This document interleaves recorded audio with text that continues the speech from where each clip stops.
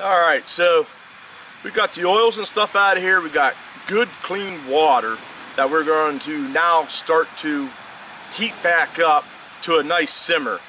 Uh, one thing I like about this method, guys, when I'm done, I'm going to shut this down. It's all going to cool off. Then what happens is, if you can see, when it cools off, then I can just break out the wax and then save it. It's clean. And then I just put it back in here. And what we're going to do is we're going to just get it to where it, of course, will uh, get heated up and liquefy and it'll be sitting on top of the water. And then we will take the traps and usually what I do is I'll put like four traps down in here and I'll hold the chain up above. And then as I take them out, I take one out at a time and bring it up through the wax, give it a little shake, and then set it off to the side. And here is what it looks like once the wax is down in there.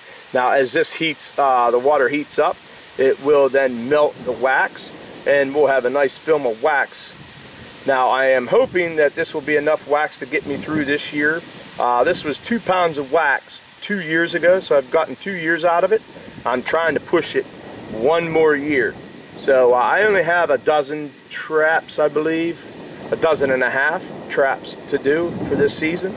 So uh, we'll wait till this uh, liquefies and we'll get back with you. I just wanted to give you guys kind of a look. We're about halfway of uh, melting this wax down. You can see how it's uh, melt, melting down. You can look right here. It's got deposits coming to the top of the water. You can see how it's going to float right on there. And uh, it's probably going to be about a half inch uh, thick laying on top of that water that I'll actually bring those traps right up through. All right, I'll show you once I get ready to put the traps. So we are melted here. So we're about ready to, we're going to go ahead and we're going to put four traps in. You can kind of see, I'm going to put the hanger there. Then what I'll do, after about 20 minutes, these traps get to that temperature that, then I'll pick that up and I'll take out one at a time. And I'll show you when I take out one, and then uh, at the end I'll show you what they look like. Alright guys, so uh, I've had them in here, uh, they're right about 20 minutes and uh, so I pick it up and you can see how it steams off of there so I know that it is up to temperature by holding it here I know this wax if uh, this stuff was not as hot as the wax I would get a real white coating on here so that's that's another way that you can tell if your wax has been uh, your traps are as uh, hot as the wax so what I'm going to do I got this little hook right here I am going to take my first one. Now that I have that hooked, I'm gonna just I'm gonna bring it up nice and slow. Just bring it right up out of the, the wax and then uh, I will kind of shake that wax, the excess off, so I get a nice even coat. Just bring it up like this. I just slowly bring it up out. I want to bring it up through that wax, nice and slowly. I get it up above the wax, I want to shake it. Now this is where it's, uh, you got to be very careful. You get that over that open flame, this will cause a fire. So be careful, please. Bring it off to the side. I'm going to shake that excess off. I'm away from the flame. And there you have it, guys. I will show you. You can see how it looks nice and shiny. That is a properly waxed trap. You can see I do not have any white on that. That tells me this trap was definitely warm enough. Now I'm going to do guys, I'm going to repeat the process for these three and then get another bundle of traps in there. I will show you uh, the finished product when I'm all done. So here we are guys with the finished product. Uh, as you see I have them hanging here. Um, now they, they, remember they looked real wet when I took them out. Once you hang them up there, now you can just kind of see how the uh, wax, it's kind of got a sheen to it, but it's kind of dull.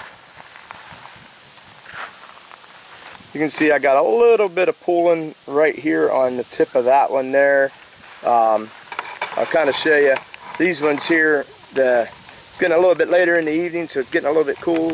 But you can see kind of right there, you know, um, you can just pop those off. But uh, they're ready to go into the uh, their containers, guys.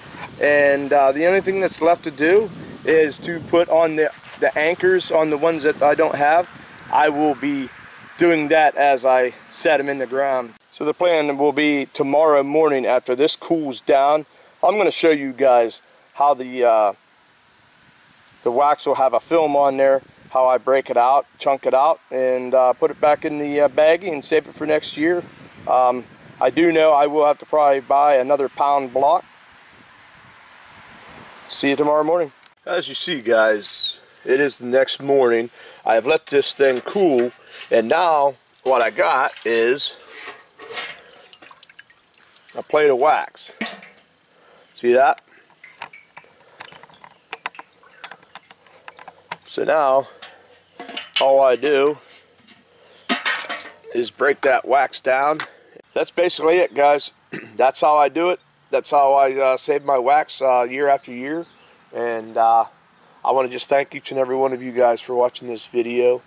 Um, I want to thank my faithful supporters for everything they do for me and my channel. For those of you that are new, please consider hitting that subscribe button and uh, hit that uh, thumbs up and share it if you would so be inclined. As always, guys, you have a blessed day. And remember, keep sharing your passion.